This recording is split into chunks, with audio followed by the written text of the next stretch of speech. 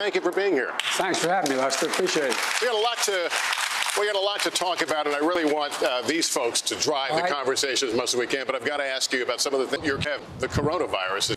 It is not a problem. I want to ask you about the information we've been given on the president's medical condition from his read. Walter, we've been transparent. Do you trust the assessments I'm, we've been hearing? gonna. I'm not going to second guess. Sort of apples and oranges. He has some of the best the apples and oranges. You were on the debate stage with the president for 90 minutes. You were socially distant, but hearing that you was infected, did you have a moment of pause, of worry, of concern for your own safety? No, but I get that. Ronald Reagan was shot uh, precisely, and uh, that's when Ronald Reagan was. Before we move on and, and hear from some of the voters, a recent poll said 65% of Americans contracting this virus. Do you agree?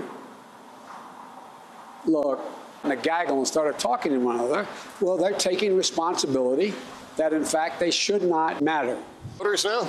Sure. All right, let's uh, let's bring up first of all Vanessa Tamaris. Vanessa, nice to see you. Hi, Vanessa. Thank you for being with us. What's what's your question for the vice president? Hi, Vice President Biden. Um, sorry, I'm a little nervous here. I'm having trouble hearing you. Thank you, sir.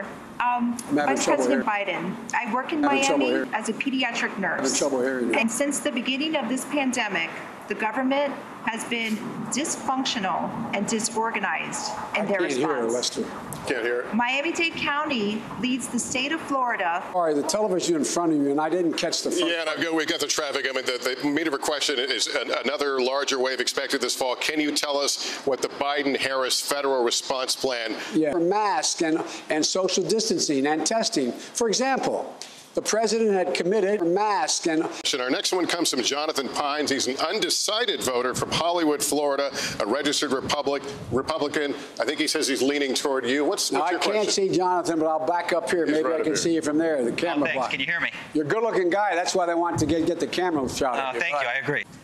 How do you plan to factors with the expectation that COVID will be with us for the Big deal. To our participants here in Miami and all of you at home, we should note that well before the president's ill